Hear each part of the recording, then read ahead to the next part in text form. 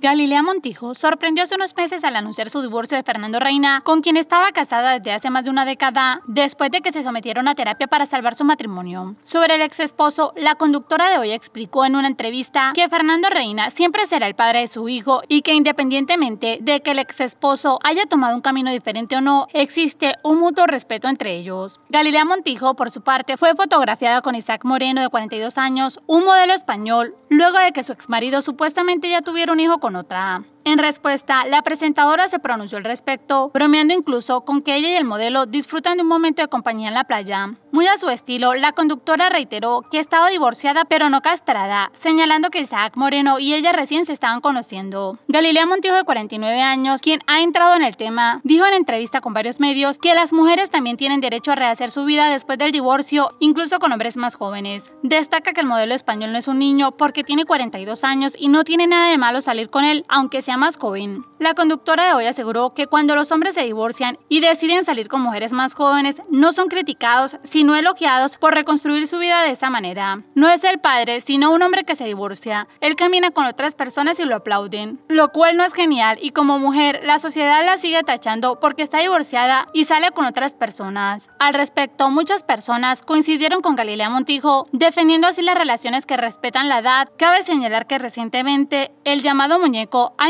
entablado relaciones con más parejas más jóvenes. Nos gustaría saber lo que piensas. Coméntanos qué opinas de las palabras de Galilea Montijo. Te leemos en los comentarios.